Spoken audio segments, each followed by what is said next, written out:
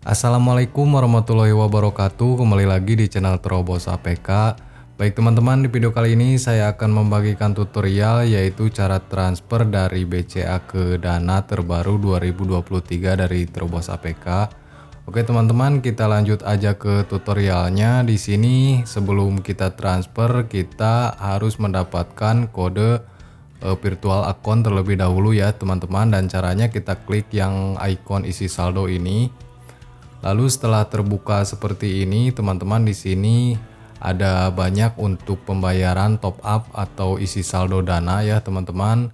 Sebagai contoh di sini ada BCA, BRI dan BNI ya. Ada juga untuk pembayaran lain yaitu Alfamart ya teman-teman dan juga Alpamidi teman-teman. E, di sini juga ada penggadaian atau kantor pos ya. Baik teman-teman karena kita akan transfer dari BCA ke Dana ya di sini kita pilih aja Bank BCA teman-teman tinggal klik icon BCA seperti ini untuk mendapatkan kode virtual account ya.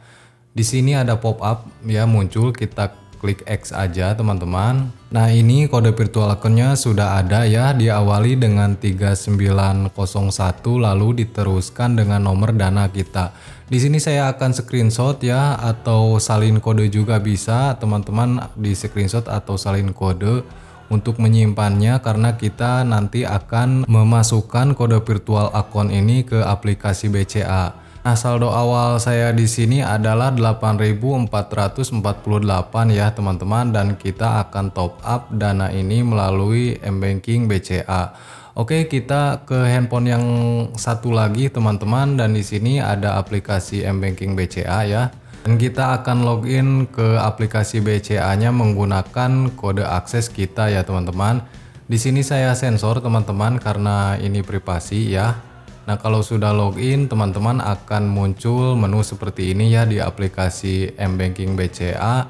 Lalu teman-teman di sini pilih aja yang icon transfer untuk kita masukkan atau menginput nomor virtual account Dana tadi. Di sini kita pilih BCA virtual account ya, teman-teman. Yang ini kita klik. Nah, di kolom kosong atas ini teman-teman masukkan atau input nomor virtual account yang dari Dana tadi ya. Di sini saya akan memasukkannya secara manual teman-teman. Jadi ini beda handphone ya. Di sini saya masih ingat teman-teman kode awalnya itu untuk eh, Bank BCA kalau dana itu 3901 ya. Lalu dilanjutkan dengan nomor handphone dana kita ya teman-teman atau dengan nomor dana kita. Di sini saya sensor teman-teman nomor handphone dana saya karena ini privasi ya. Oke, setelah beres teman-teman bisa klik OK di sini dan pastikan lagi nomornya benar.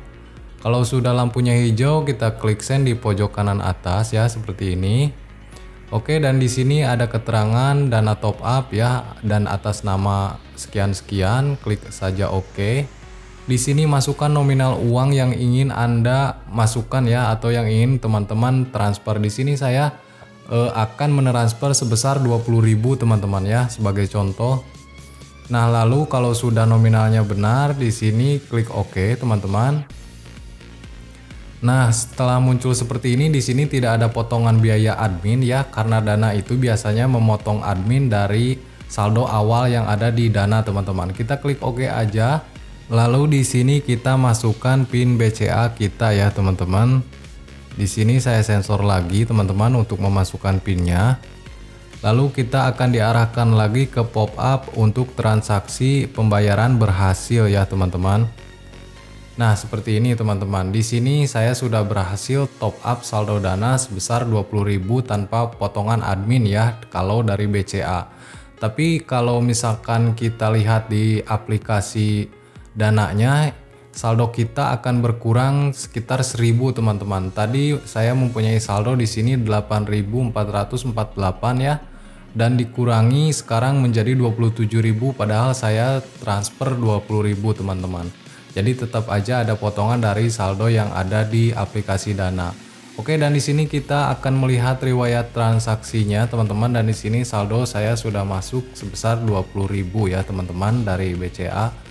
Oke teman-teman itulah cara transfer eh, dari BCA ke Dana terbaru 2023 dari Trobos APK. Semoga konten ini bermanfaat buat teman-teman. Jangan lupa like dan subscribe. Saya admin dari Trobos APK. Wassalamualaikum warahmatullahi wabarakatuh.